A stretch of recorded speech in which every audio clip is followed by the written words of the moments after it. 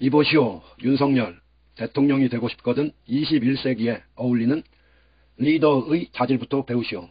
내 보기에 법을 공부하여 누구보다 법을 잘 아는 문재인 대통령은 법을 너무도 존중하여 어떤 자들이 법을 사적으로 또는 정치적으로 악용하여도 권한을 행사하지 않아 답답함이 폭발할 지경이었는데 그런 문 대통령이 법을 넘어 권한 행사를 했다니 진짜 그러했다면 내가 임명했는데 내 등에 칼을 꽂는 배신자를 가만히 두었을까? 이명박 시절의 정현주처럼 박근혜 시절의 최동욱처럼 간악한 권력의 칼에 난도질을 당하지 않았을까?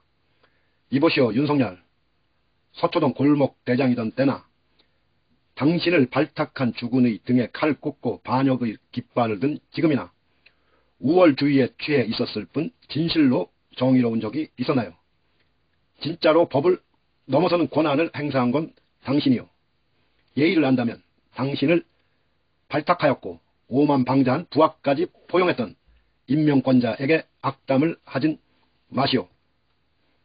몰상식이 상식을 핍박하고 조롱하며 활개치는 거 지긋지긋합니다. 숨이 막혀 질식할 것 같습니다. 송용훈 기자